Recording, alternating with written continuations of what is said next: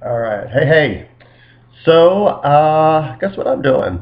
Uh, working on some more music. It's been a long time. As you probably know, last year I hit a roadblock. I released Ecstasy, and then it was like pff, nothing for a while. I just didn't quite know uh, how to push past it. But hey, it's a new year, 2017, and even though I didn't release anything last year, I did I did work on some tunes, and so I'm actually going to the studio this weekend to lay some vocals to it. Uh, I promise you, 2017 will have me back in action. Uh, in fact, I'm getting overwhelmed with so many ideas. Uh, I want to get these old songs that I recorded out first.